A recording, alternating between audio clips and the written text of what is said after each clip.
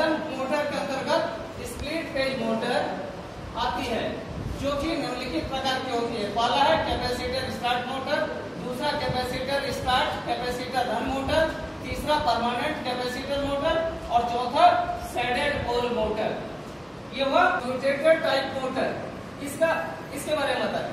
तो देखिए commutator type motor के अंतर्गत यूनिवर्सल मोटर और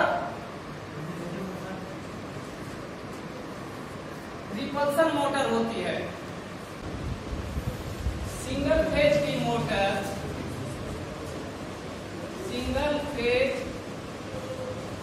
की मोटर स्वयं स्टार्ट नहीं होती है। स्वयं या अपने आप स्टार्ट नहीं होती है क्योंकि सिंगल फ़ेज़ की सप्लाई क्योंकि सिंगल फ़ेज़ की सप्लाई।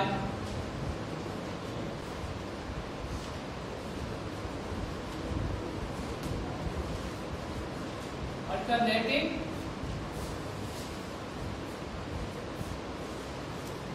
फ़ील्ड पैदा करती है।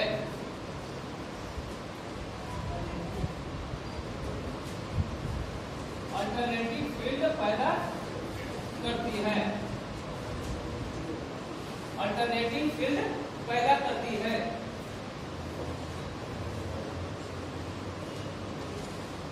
जो कि मोटर को स्टार्ट करने के लिए, जो कि मोटर को स्टार्ट करने के लिए rotating magnet field rotating magnetic field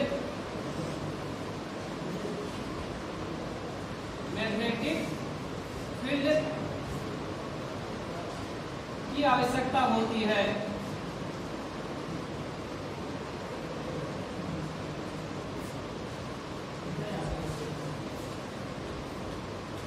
क्या होता है? जो एसी सिंगल फ़ेज़ की जो मोटर है, उसमें हम जब सिंगल फ़ेज़ सप्लाई देते हैं तो अपने आप स्टार्ट नहीं होती है क्योंकि सिंगल फ़ेज़ की सप्लाई जो होती है, वो आपका जो फ़ील्ड पैदा करती है, कैसा होती है? अल्टरनेटिंग होती है जो कि मोटर को स्टार्ट करने के लिए रोटेटिंग मैग्नेटिक फ़ील्ड की आवश्यकता होती है। लेकिन हम मोटर को स्टार्ट करेंगे तो रोटेटिंग मैग्नेटिक फ़ील्ड चाहिए तभी ना घुमाएगा तभी ना टॉर्क बनेगा तभी मोटर घूमेगी क्या करा मोटर को स्टार्ट करने से पहले स्टार्टिंग टॉर्क की ज़रूरत होती है और एक दूसरा और एक दूसरा बाइंडिंग की जाती है। दूसरा फ़ेज़ बनाते हैं और दूसरा फ़ेज़ बनाने के लिए हम क्या करते हैं? स्टेटर के अंदर और एक दूसरा बाइंडिंग कर देते हैं।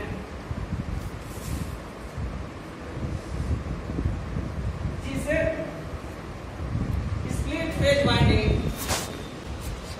या स्प्लिट फ़ेज़ बाइंडिंग या स्टार्टिंग बाइंडिंग भी करते हैं। के सीरीज़ में सेंट्रीफ्यूगल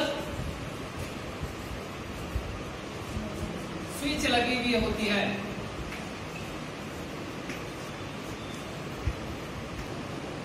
जब मोटर स्टार्ट होती है, जब मोटर को स्टार्ट करते हैं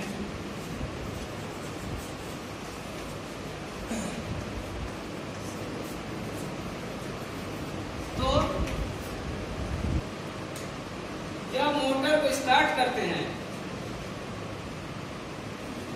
तो सेंट्रीफ्यूगल स्विच के कारण।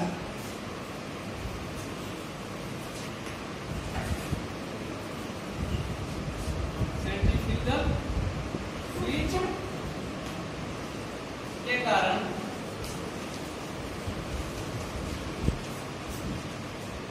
जब मोटर स्टार्ट करते हैं तो स्विच के कारण। स्विच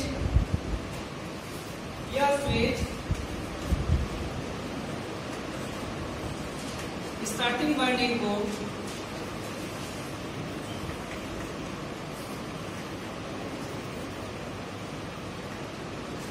वाइंडिंग को या स्विच स्टार्टिंग वाइंडिंग को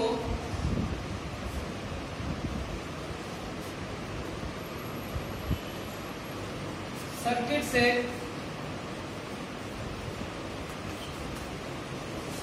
अलग कर देता है।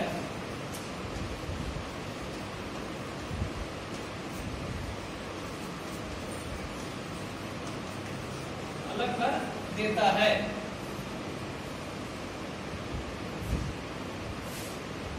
तथा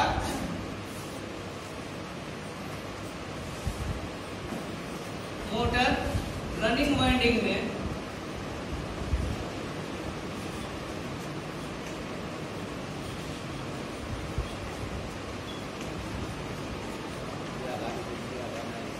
चलने लगती है। सेफ्ट पर एक स्विच लगा होता है। यानी रोटर का जो सेफ्ट होता है, उसमें एक स्विच लगा होता है। जिसे सेंट्रीफ्यूगल स्विच कहते हैं। सेंट्रीफ्यूगल स्विच क्या करता है? स्टार्टिंग वाइंडिंग के सीरीज़ में सेंट्रीफ्यूगल स्विच लगी हुई होती है। और सेंट्रीफ्यूगल स्विच जो होती है, वो स्टार्टिंग वाइंडिंग के सीरीज़ में लगी होती है। जब मोटर को स्टार्ट करते हैं तो सेंट्रीफ्यूगल स्विच के कारण यह स्विच स्टार्टिंग वाइंडिंग को सर्किट से अलग कर देता है। और क्या होती है मोटर रनिंग वाइंडिंग में चलने लगती है।